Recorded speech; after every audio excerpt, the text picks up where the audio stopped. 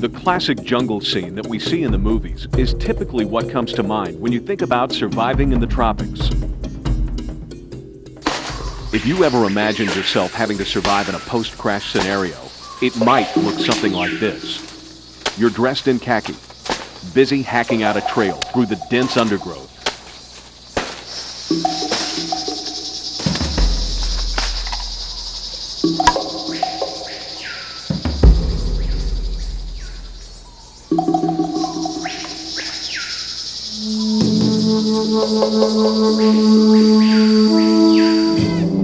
Drums beat, and hostile warriors try to pick you off with their spears and blowguns.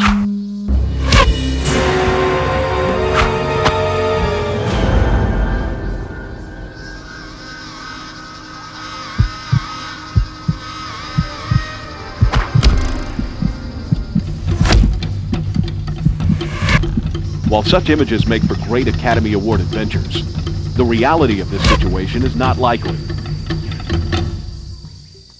Even though the jungle, or tropical rainforest, as it is more commonly known, is a part of the tropics, it is just that, only one part.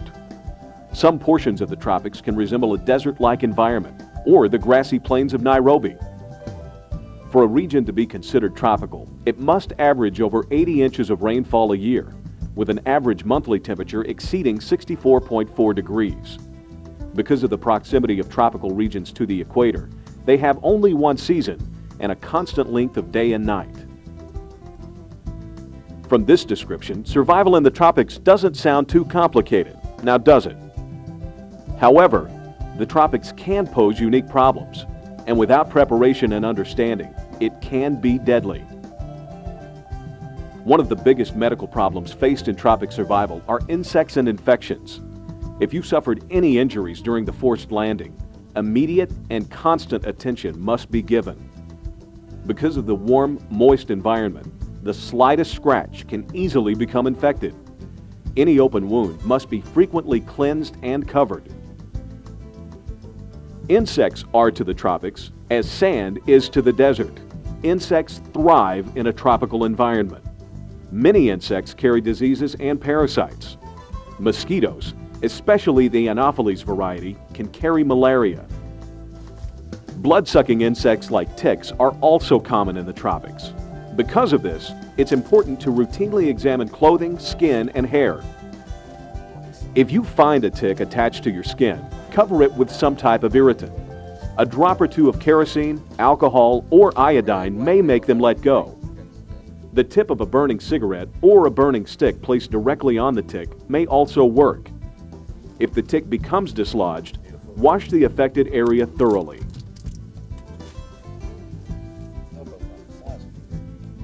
Fleas are another wingless, blood-sucking pest that can be prevalent in the tropics.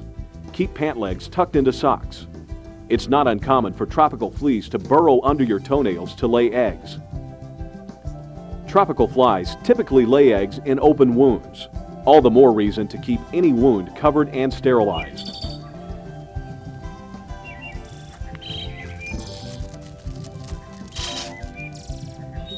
High humidity is associated with tropical regions, so it's not uncommon for your clothing to be damp or wet. Do what you can to stay as dry as possible, especially before bedding down for the night. Staying dry is important in preventing skin disease or fungus. Before nightfall, you will need to construct a shelter. Start before the early evening because night falls very quickly. It's easy to lose track of time and available light source, especially if you have a dense canopy of foliage over you. When constructing a shelter, here are a few considerations to keep in mind. Construct your shelter on high ground or a high spot such as a knoll. Make sure it is in an open area and well away from water. You want a ground area that's away from potential insects. Try not to sleep directly on the ground. Elevate yourself by piling up several layers of palm fronds or other broad leaves to serve as a cushion. The goal is to try and remove yourself from crawling insects. A sufficient bed can be made by constructing an elevated A-frame.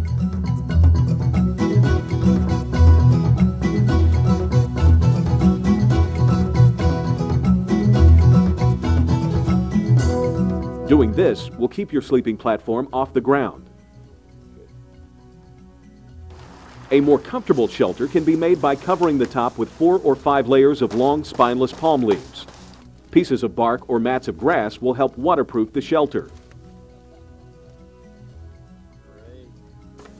You may find that the simplest tasks when performed in tropical heat and humidity are hard to accomplish because your energy is drained.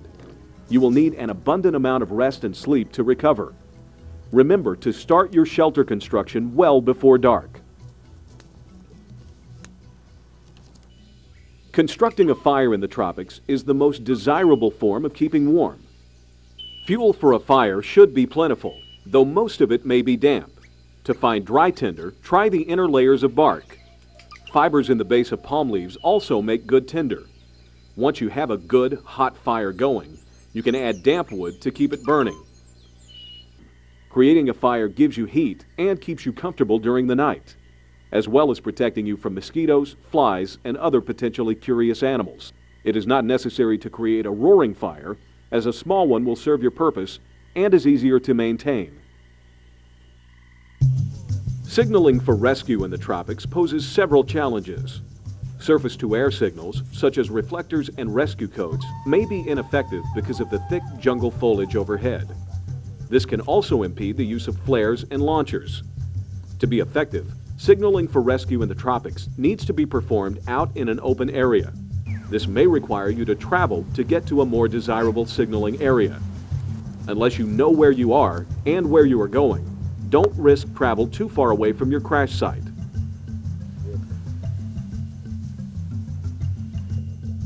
The reason for this is when your aircraft went down, it should have left some telltale signs for rescuers.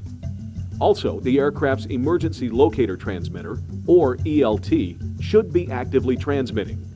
This helps rescuers physically locate the area where the aircraft went down. This is why it is so important to stay near the wreckage, because this is the vicinity where rescuers are likely to search.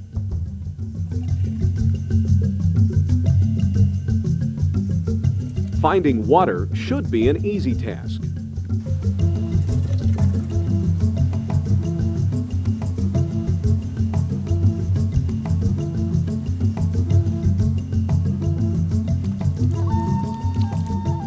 but be sure to purify all water from streams and surfaces before consumption. Water that is derived from precipitation is safe to drink. You can also drink water from plants without purifying. Many vines, if cut, will drip a steady stream of water. Cutting down a banana plant, leaving a one foot tall trunk can be an excellent source of drinking fluid. After cutting it, Hollow out the trunk to form a deep bowl. In a few hours, the bowl will overflow with water. The banana plant bowl will produce water for about four days. Make sure to cover the fluid to protect it from insects. As a word of caution, if the surface of the water becomes covered with a blue tinted film, skim as much of it off as possible, as drinking this can make you sick. Tropical areas are a virtual farmer's market filled with delicious edible fruits. The papaya fruit is usually abundant in tropical areas. Some may weigh up to 5 pounds. The tropical star apple is also a good source of available nutrition. Wild pineapple is another fruit that typically can be found and eaten raw. However, you may want to consider cooking it, as raw pineapple may cause stomach discomfort. Roots and bulbs, such as taro, cassava, and wild yams, are abundant and nutritious. Coconuts are also a potential source of sustenance. The coconut's meat, milk, and flowers can be safely eaten.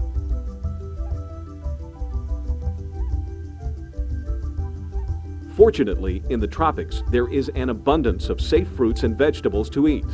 It's knowing where to look and how to prepare them where added knowledge is beneficial. Sources of meat in tropical areas are found primarily with fish and land crabs.